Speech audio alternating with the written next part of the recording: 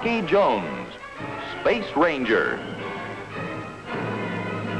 Starring Richard Crane. In Beyond the Curtain of Space, Chapter 1.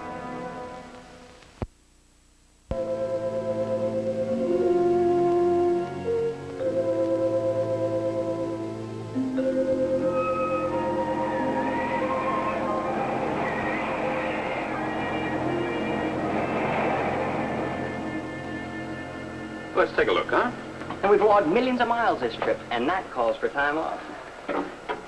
XV2 calling Office of Space Affairs. Come in, please. This is the XV2 calling Office of Space Affairs. Come in. Come in, XV2. State celestial position. This is Rocky Jones of the Space Rangers reporting. Celestial meridian 58 degrees, parallel 146 degrees. We're now in second braking ellipse of Earth, requesting landing clearance at approximately 1600. You're dead center on Baker flight path, Rocky. Ride her in. We're all clear and waiting for you. Oh, hold it. Here's Secretary Drake. Sir? Welcome home, Rocky. Thank you, sir. I'm certainly glad to be back. Was it a rough trip? More or less routine, sir. Uh, much more more than less less, Mr. Secretary, believe me. I can believe you, Winky. Come in the office when you land, boys. I'll have your leave papers ready. Oh, thank you, Mr. Secretary. Thank you, sir. Out. Alert to ground crew. Alert to ground crew. Now learn this. XV2 on Baker flight path. Now at 85,000. Prepare for landing.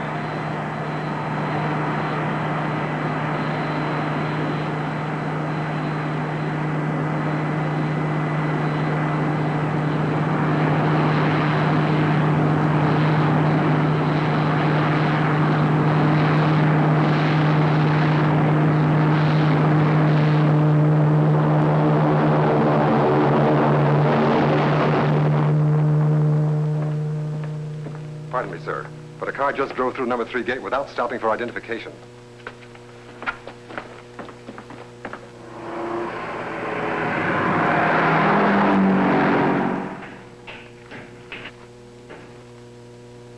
Okay, lock her up in the barn, boys.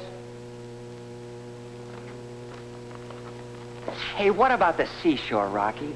I know a place called Paradise Isle. Balmy nights and soft music under a big tropical moon. White sands washed by an emerald sea. How's it sound? Let's see what Drake has to say about that, huh? But he's already said it. Leave papers. Look out, Winky.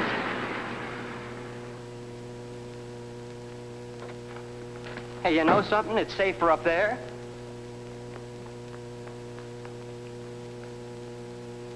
But, uh, who wants to be up there?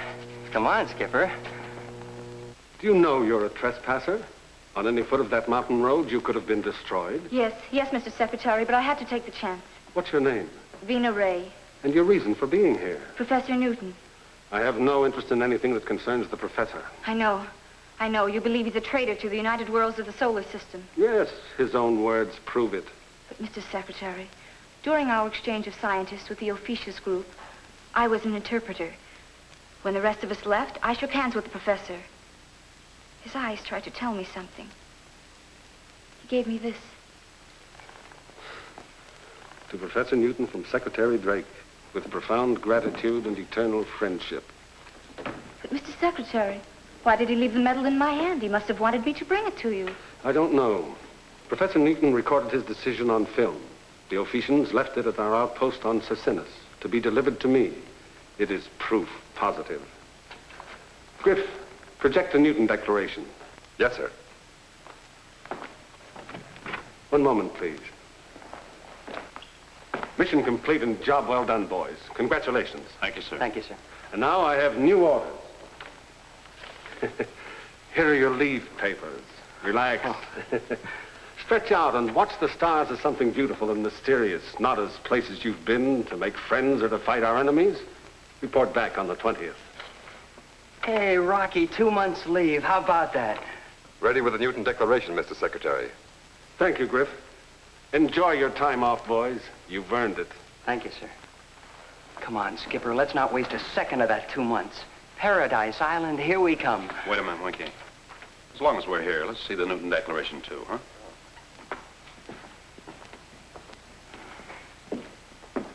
When ready, Griff.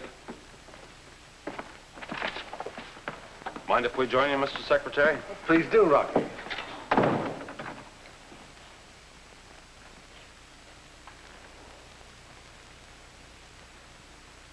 Secretary Drake, may I first say this? The decision to remain on Ophiuchus is mine and mine alone. I have been influenced by neither word nor act. These people are my friends. Perhaps, thinking singularly, I would not have made such a drastic move and severed the ties of a lifetime. But I must consider my young ward, Bobby. A long life stands before him, and not through heritage, but by my choice, he can now share in the triumph and the glory of Ophiuchus. Come here, Bobby.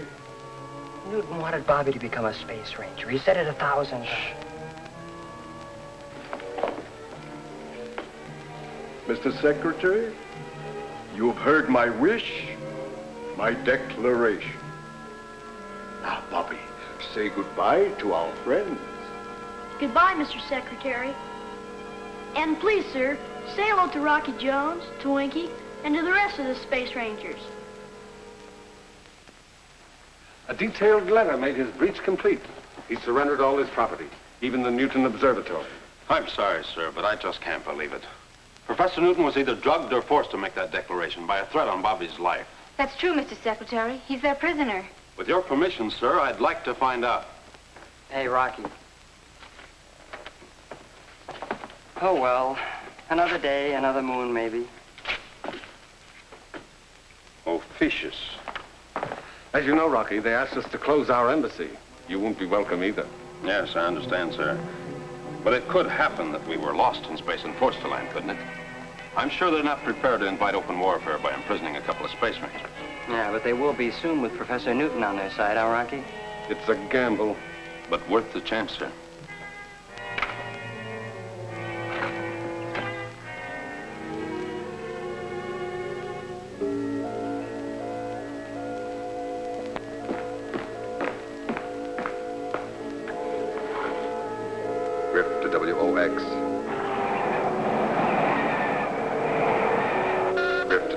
WOX. Come in. WX to Griff. Come in, Griff. Beam urgent message to Ophiuchus. Drake now believes Professor Newton prisoner. Rocky Jones may attempt rescue flight. We'll get it through, Griff. Any further orders? Stand by. If rescue flight is attempted by Rocky Jones, we'll inform you of blast-off time and refuel station. We're to destroy his orbit jet before it reaches your zone. And the blame placed on you. Out. This is the curtain which separates our League of Planets from the Ophiuchus group. From that point on, they are able to jam our messages. After you pass that point, you'll be without a communication link. You'll be on your own, Rocky. It'll be dangerous. I understand, sir. We'll make it, though.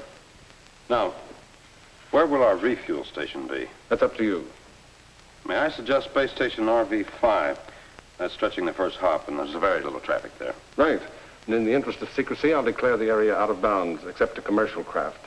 Now, for your crew. Well, so that those on the other planet can't claim invasion, Winky and I should go it alone. We'll disable our ship, land, search for Professor Newton and Bobby, and try to bring them back with us. Please, Mr. Secretary. Can't I go?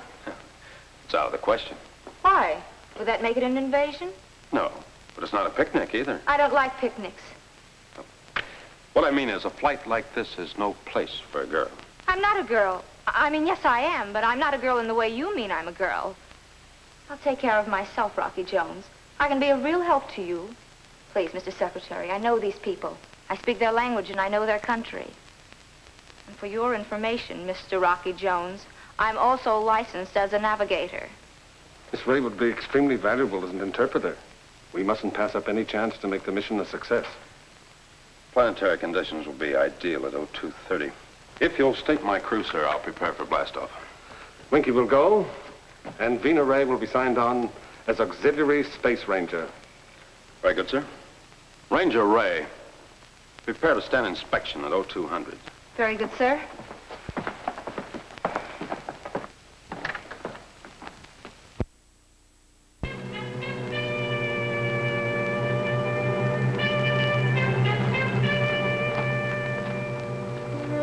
Take positions on platform.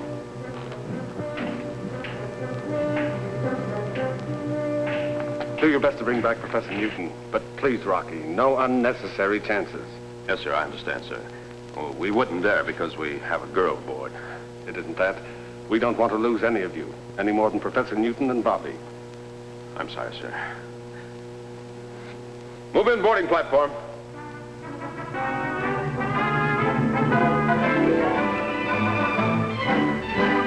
Switch on blast off synchronizer.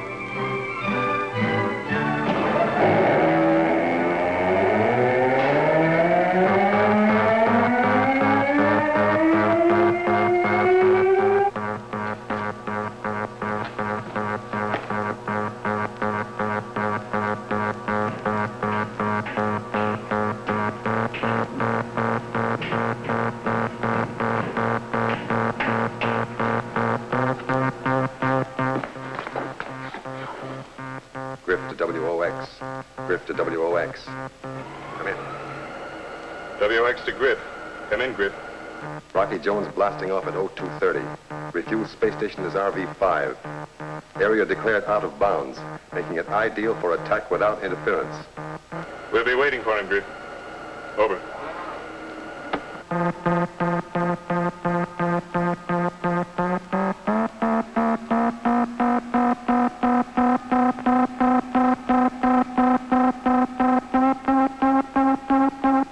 For blastoff, Vina. They turn off that noise. Gives me the creeps. Say, you been aboard a spaceship before? Sure, on an interplanetary express. That's about as exciting as a streetcar. The orbit jet is different, believe me. Well, that noise is our blastoff synchronizer, and when those two sounds get together, we'll be up there. Really? Uh-huh. Uh, there's your navigating table, navigator. Have fun. Before this trip is over, you two will be mighty glad I came along.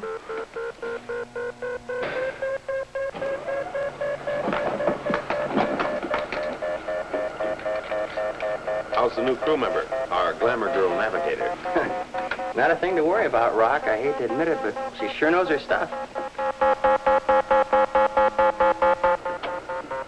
All right, you ready, Winky? Ready, sir?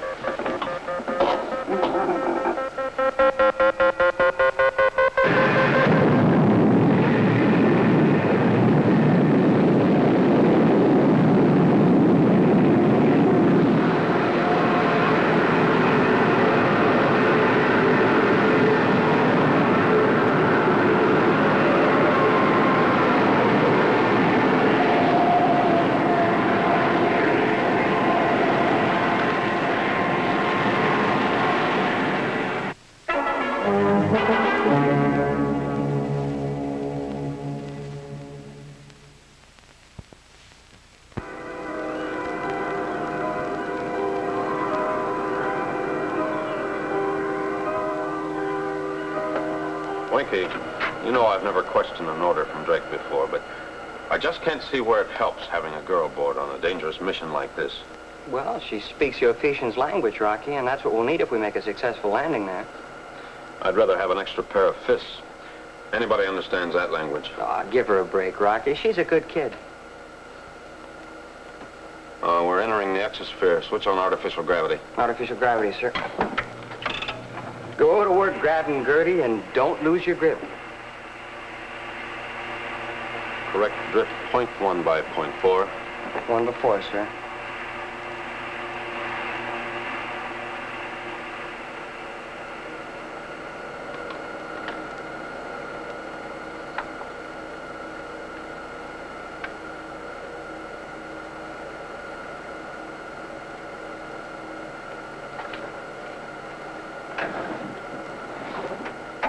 Pardon, sir, but we've entered the exosphere. Oh, really? And may I suggest a drift correction? Point one by point four. Good charting, Vina. Thanks, Winky. Awaiting orders, sir. You're a little late. What should I do, sir? Return to quarters and, uh, knit me a sweater. Sorry, sir. I don't know how to knit. But if I did, I'd make you a muffler and maybe tie it real tight around your neck.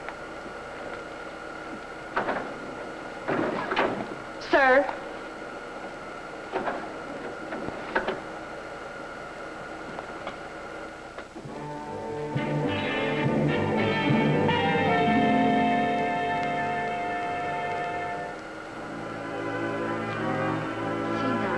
do this.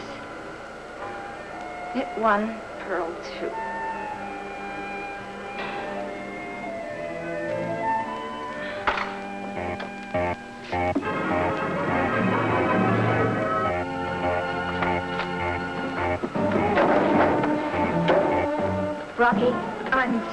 An object is approaching from two o'clock. No? Are you positive, or is this merely woman's intuition? I said and I repeat, there's an object approaching us very rapidly. She was right before Rocky.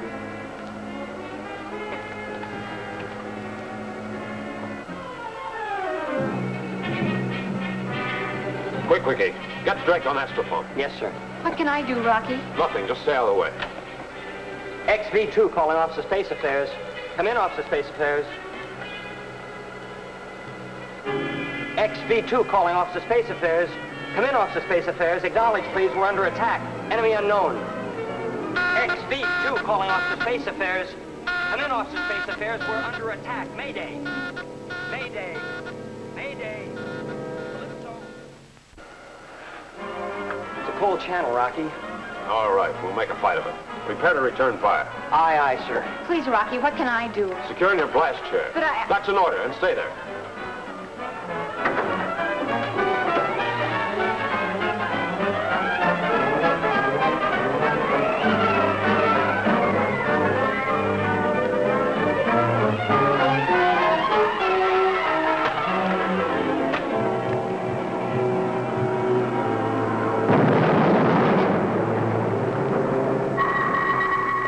We hit aft, sir. I can't nail him if you don't hold course.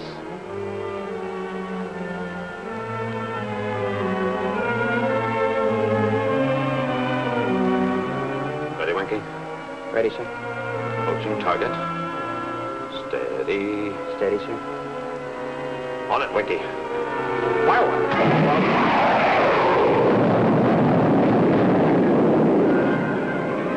Well, takes care of them, whoever it was. Level off for free fall, Winky, while I check the damage. Aye, aye. You all right, Vina? Yes, but what happened, Rocky? What is it?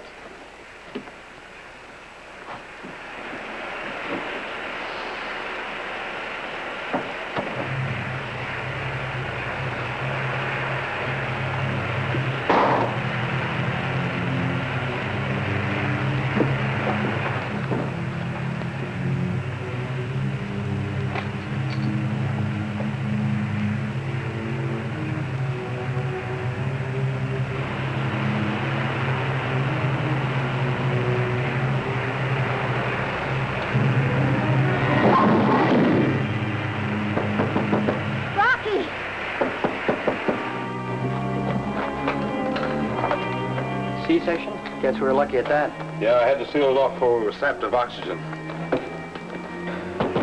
Rocky! Winky!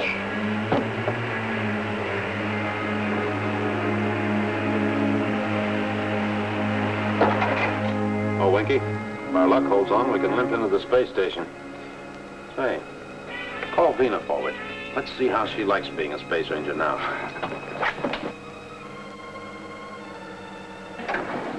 Vina, Rocky says you...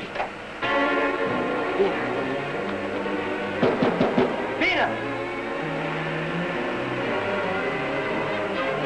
Vina!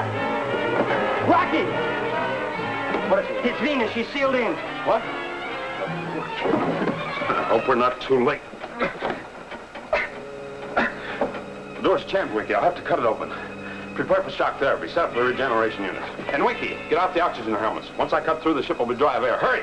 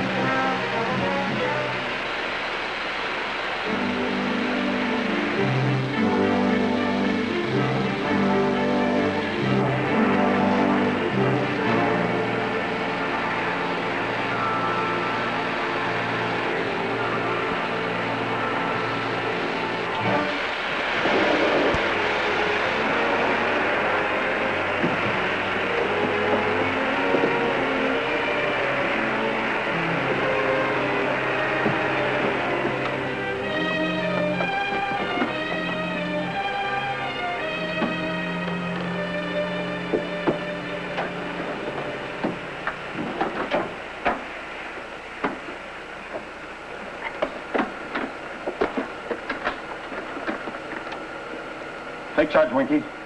I think she'll be all right. She helped save our lives. We've got to save hers. I'll get us to the space station as soon as possible.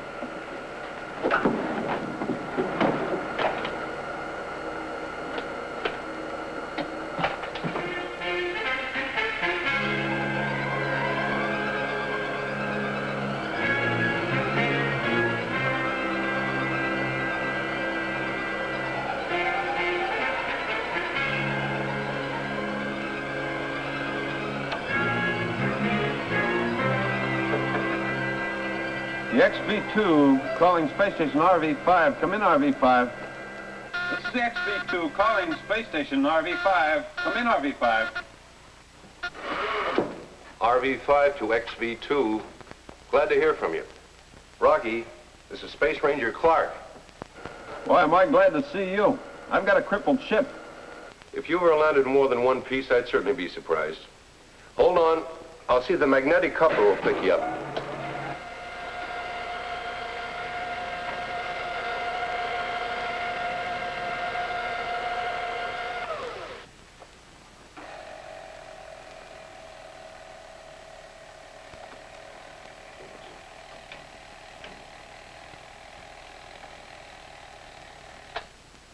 We got you, Rocky. Relax and we'll pull you in. Thanks, Clark. Out.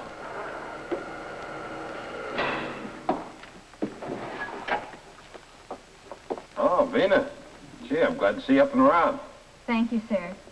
I'm sorry I caused so much trouble. Oh, that's all right. Could happen to anyone. Thank you, sir. And I'm going to make up for it and prove that I can be it. Well, that a girl can be, is it? Vina, Yes, sir. I've been thinking it over. There's an express that stops at the space station, and, well, it might be best if... If I were on it? Yes, Vina. You see, what's happened so far could be called routine for a space ranger, so it's really no place for... Well, what I mean is it's best if you go back to Earth. Say it. It's no place for a girl. Now listen to me, Rocky Jones. In the first place, I was the one who spotted the enemy ship. Remember? Now, look, Vina, don't Go get... ahead, be the referee. Don't count me out. I can say what I think about you in 37 different languages. I'll start with the Martians. You're nothing but a big bowelback. On Neptune, they call you a...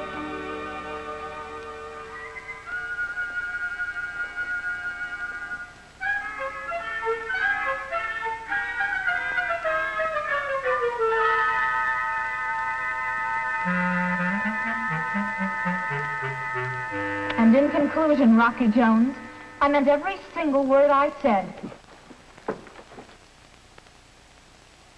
Uh, you'll never get her on the express to Earth, Rocky.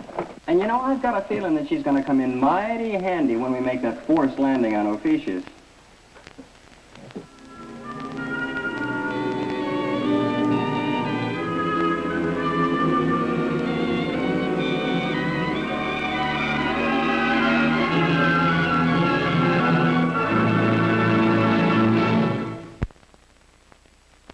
Time, same station, when we again take you into outer space for further adventures with Rocky Jones, Space Ranger.